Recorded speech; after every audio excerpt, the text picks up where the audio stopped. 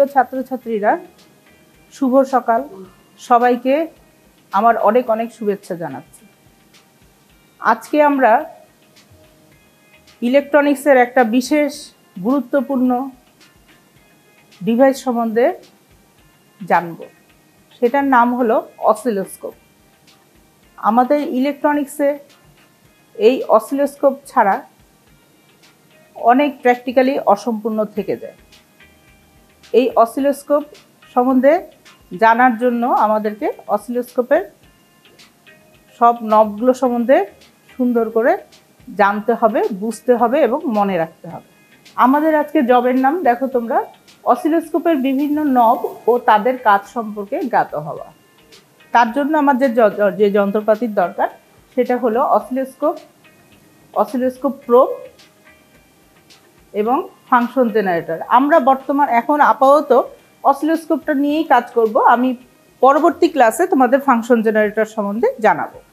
এই অসিলোস্কোপের নবগুলোর জন্য দেখো, আমরা সবাই জানি যে কোনো অসিলোস্কোপ বা যে কোনো যন্ত্রপাতি মানে অন করার জন্য প্রথমে আমাদের একটা পাওয়ার সুইচ দরকার। সেই পাওয়ার সুইচ পাওয়ার সুইচের সাথে অবশ্যই একটা পাওয়ার ল্যাম্প থাকে।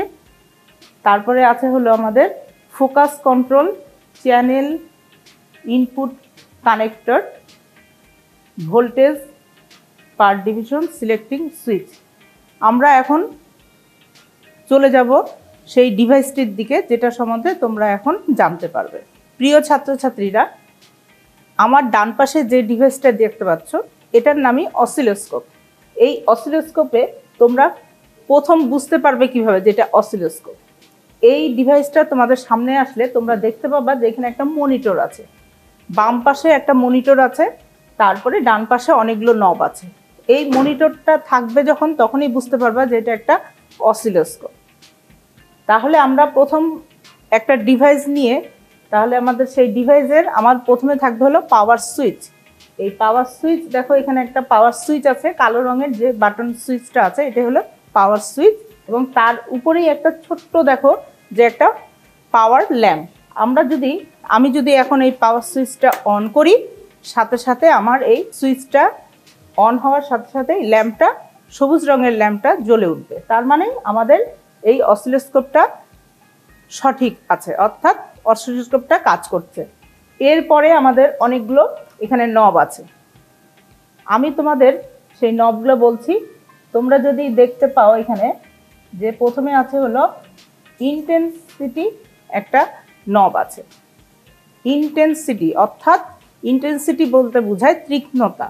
আমাদের এই যে এখানে মনিটরি মনিটর আছে, সেটার আলোর তীক্ষ্ণতা কতটুকু হবে, এই ইন্টেন্সিটি দিয়ে আমরা সেটা বুঝতে পারব বা অ্যাডজাস্ট করতে পারব। এরপরে আছে হলো ফোকাস ফোকাস কথাটার অর্থ হলো, আমাদের এখানে দেখো যে একটা মনিটরে আমরা একটা স্ট্রেট লাইন দেখতে পাচ্ছি। আমি যদি এখন এই ফোকাসিং ল্যাম্পটা যদি আমি কমিয়ে বাড়িয়ে নেই, তাহলে তোমরা দেখতে পাবে যে এই স্ট্রেট লাইনটা মাঝে মাঝে চিকন হয়ে যাচ্ছে, মাঝে মাঝে একটু মোটা হয়ে যাচ্ছে। সুতরাং এই ফোকাসিংটা দিয়ে আমরা এই লাইনটাকে অ্যাডজাস্ট করতে পারব। এরপরে আরও কয়েকটা লব আছে, যেটা মেইন আমাদের এখানে আরেকটা জিনিস জানার আছে, সেখানে হলো যে আমরা এই অসিলোস্কোপের মাধ্যমে দুটো চ্যানেল দিয়ে কাজ করতে পারি। চ্যানেল ওয়ান এবং চ্যানেল টু। তোমরা এখানে যদি একটু ভালো করে দেখো, চ্যানেল ওয়ান যেটাকে এক্স হিসাবে ধরা হয়েছে, চ্যানেল টু যেটাকে ওয়াই হিসাবে ধরা হয়েছে। এই চ্যানেল ওয়ান এবং চ্যানেল টু এর জন্য কিছু নব আছে, নিজস্ব। অর্থাৎ এই চ্যানেল ওয়ানের এখানে দেখো, একটা বর্ডার লাইন দেওয়া আছে, সেই বর্ডার লাইনে কয়েকটা নব দেওয়া আছে, যেগুলো শুধুই চ্যানেল ওয়ানের জন্য কাজ করবে। এবং চ্যানেল টু এর এখানেও একটা বর্ডার লাইন দেওয়া আছে, যেই নবগুলো শুধু চ্যানেল টু এর জন্য কাজ করবে। তাছাড়া ঠিক উপরের অংশে কয়েকটা নব দেওয়া আছে, যেগুলো চ্যানেল ওয়ান এবং চ্যানেল টু এর জন্য কমন হিসাবে কাজ করবে। তাহলে এখন কথা আসে, আমি যখন চ্যানেল ওয়ান দিয়ে কাজ করব, কীভাবে বুঝব? তখন আমার এখানে দেখো যে, এই যে এখানে একটা দেখো, তোমরা এখানে একটা আমরা সিলেক্টিং সুইচ দেখতে পাচ্ছি, যেখানে তিনটা অংশ আছে। একটা হলো চ্যানেল ওয়ান চ্যানেল টু হ্যাঁ এবং ভার্টিক্যাল সিস্টেম আমার এই চ্যানেল ওয়ান দিয়ে আমি যখন কাজ করব, তখন আমার নবটা রাখতে হবে চ্যানেল ওয়ানে যখন চ্যানেল টুয়ে কাজ করব, তখন চ্যানেল টুয়ে রাখতে হবে। তাছাড়াও আমার এখানে আরেকটা আছে time per division voltage per division দুটো নব কাজ করে। টাইম পার ডিভিশনটা যদি আমি দেখো প্রিয় ছাত্রছাত্রীরা, আমরা যদি এখন টাইম পার ডিভিশনটা আমি যদি সিলেক্ট করি, তাহলে দেখো আমার এখানে এই যে ইলেকট্রন বিমটা আমরা দেখতে পাচ্ছি, এটার কিন্তু একটা পরিবর্তন হচ্ছে। আমি যদি এটাকে খুব বাড়িয়ে দেই, তাহলে আমরা এখানে একটা স্ট্রেট লাইন পাচ্ছি। যদি আমি এটা টাইমটাকে যদি আমি কম করে দেই, তখন দেখো আমার এই স্ট্রেট লাইন আর আসছে না। তখন একটা বিন্দু দেখতে পাচ্ছি আমরা। এটাকে বাড়িয়ে দিলেই একটা স্ট্রেট লাইন আসছে। ভোল্টেজ পার ডিভিশন এবং অন্যান্য যেই নবগুলো আছে, আমি পরবর্তী ক্লাসে আমরা যখন এটা দিয়ে অসিলোস্কোপ দিয়ে একদম বাস্তব কাজে যাব যখন, তখন আমরা দেখতে পাবো যে এই নবগুলো দিয়ে আরও কীভাবে আমি অসিলোস্কোপটাকে সেট করতে পারি ওয়েব শেপ দেখতে পারি। প্রিয় ছাত্রছাত্রীরা অসিলোস্কোপ দিয়ে আমার যদি ওয়েভ শেপ দেখতে হয়, তাহলে অবশ্যই অসিলোস্কোপের সাথে আমার একটা এক্সট্রা একটা নব একটা প্রোব ইউজ করতে হয়। এই প্রোবটা দেখো, দুটো প্রান্ত আছে।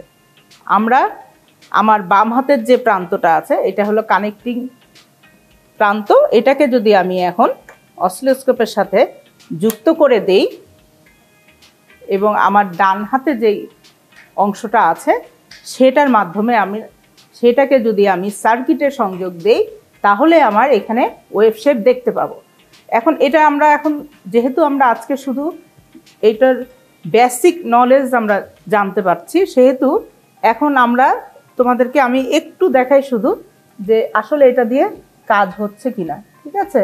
তাহলে আমি দেখো, এই আমার ডান হাতে যে প্রোবটা আছে বা প্রোবের যে অংশটা আছে, এটার মধ্যে আমি যদি আমার হাত টাচ করি, তখন দেখো দেখো এখানে ওয়েভ শেপটা দেখো পরিবর্তন হচ্ছে। আমি যদি হাতটা ছেড়ে দেই, এটা একটা স্ট্রেট লাইন হচ্ছে। আমি যদি এটাতে হাত লাগাই, তাহলে দেখো এখানে একটা, অর্থাৎ আমার শরীরে কিন্তু একটা ইলেকট্রিসিটি আছে। সেই ইলেকট্রিসিটিটাই আমি এখানে ওয়েভ শেপটা দেখতে পাচ্ছি। আমরা যখন পরবর্তী ক্লাসে এটা নিয়ে কাজ করব সার্কিটের সাথে সংযোগ দিব, তখন আমরা আশা করছি একটা সুন্দর ওয়েভ শেপ তোমাদের সামনে তুলে ধরতে পারব। আজকে এ পর্যন্তই। তোমাদের সবাইকে অনেক অনেক শুভেচ্ছা। ভালো থেকো সুস্থ থেকো।